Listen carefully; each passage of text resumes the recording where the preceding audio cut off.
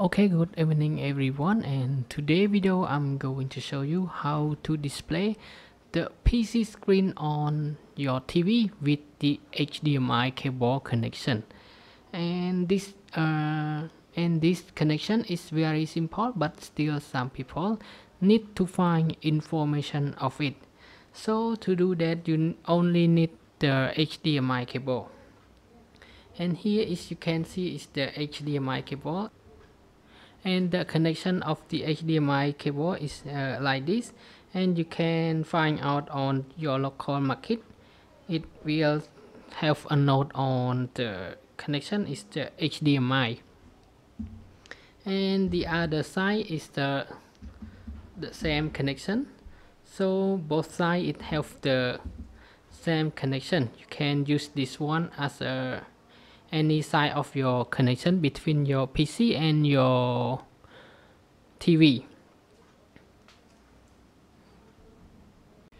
And on your laptop or any PC that can connect to the HDMI, you will find the female connection like this. And also on your TV.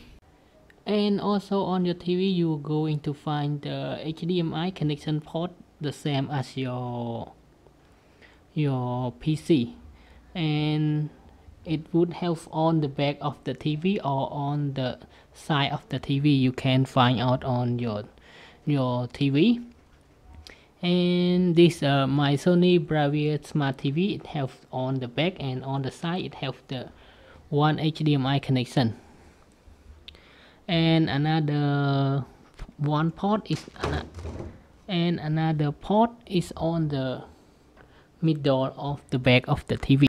And to connect the HDMI between your TV and your PC, you just plug the HDMI cable into the port that I show you on your PC and on your TV. Okay, now we plug uh, one side to your laptops and then connect to your HDMI TV port.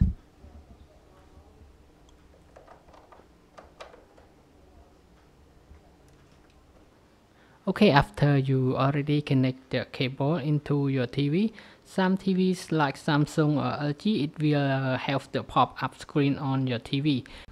But for this Sony Bravia Smart TV, you need to press this uh, button on your remote control to display the HDMI. So now you can see the input on here.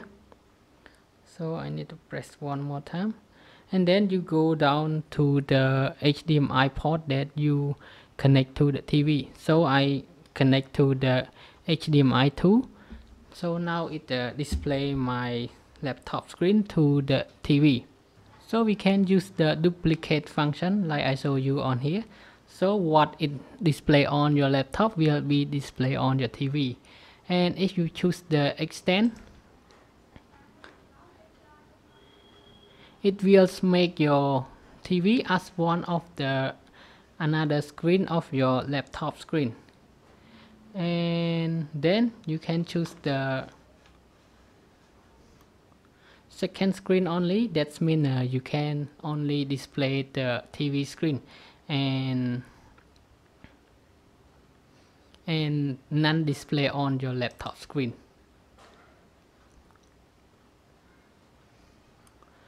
and for PC screen only it uh, display only the screen on your PC so what I prefer is the extend and the second screen only